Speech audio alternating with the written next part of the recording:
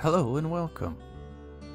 Before we get too far into this section, I thought it may be valuable to put the theme of this unit about reasoning into context. We will stray a bit from the traditional math you've come accustomed to, but the perspective should prove enlightening. We'll attempt to join many of the pieces of your learning to start to form an image that resembles someone with a growing capacity to reason a skill that comes surprisingly naturally for us.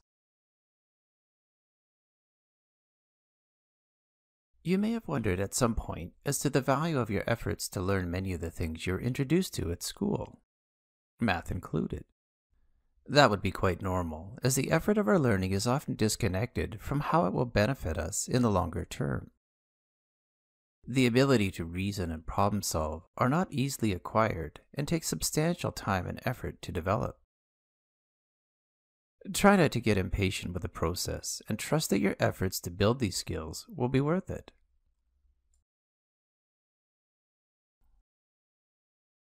Like needing to learn to crawl before you walk and walk before you run, the investment in your basic skills sets you up for conquering learning more complex concepts that utilize higher order skills. Becoming wise doesn't happen one day just because you complete your last assignment. It goes much deeper than that. As always, we'll do our best to show you that the development of good reasoning is really at the heart of much of your learning. From an early age, we start connecting to our surroundings in a trial and error kind of fashion. As inquisitive observers, with the ability to draw conclusions, we are born ready to reason. Our world fills with sights, sounds, tastes, and touches. We're not good at reasoning just yet, and need a lot of help to stay safe. But our brains feverishly start forming connections, trying to piece it all together. Who's important? What do I have to do to get a meal? Who gets to change me this time? Without the ability to observe and explore the way we do, human survival would not be what it is today. Our ability to see patterns in the world have given us a survival advantage that is unmatched in nature. From hunting and gathering, to farming and fishing, to advancements that have taken us into space. Our success comes from our ability to connect with and understand our world in ways no other species can. Of course, we don't always get it right. Our observations often lead us in the wrong direction. For example, before we really understood gravity, the idea that the Earth was spherical would have been preposterous. But new ideas can help us reshape our thinking, giving us the capacity to see things differently. However, new ideas can also conflict with views we want to hold on to, like wanting to place the Earth at the center of the universe.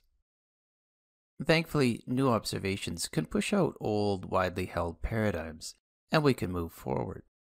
This can often take some time. Galileo's incarceration for his observations that supported a non Earth centered universe is a good example of how uncomfortable we can be with change. The Dark Ages are a testament to how far we've come in a relatively short period. It's easy to look back and think that our ancestors must have been kind of dim witted. That's probably unfair. Pause this episode and open a new browser and search YouTube for Monty Python's She's a Witch scene. Or see the link below this video in the lesson. Perhaps lacking an ability to reason was not their fault. They had the capability of being more logical, but weren't given the opportunities to learn that we often take for granted. They also didn't have the benefit of technology aiding their observations, or the incredible accumulation of wisdom that our societies possess today. Perhaps keeping people in the dark was a way for those in control to maintain their grip on the masses. Don't believe for a moment that we have found or accepted all that is true. Our very origin still finds itself being contested as old views and new understandings continue to clash. We still have a great deal to uncover, and, in spite of our progress, our technological advancements create as many problems as they solve. Perhaps now, more than ever, we need to utilize our natural observation skills to help us form more accurate conclusions about the questions before us.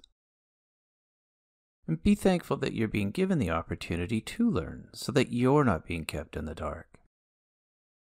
A chance to become a more independent thinker, capable of a broad range of higher level skills, including reasoning. Keeping the broader view of your learning in mind may help motivate you to make the most of your opportunities.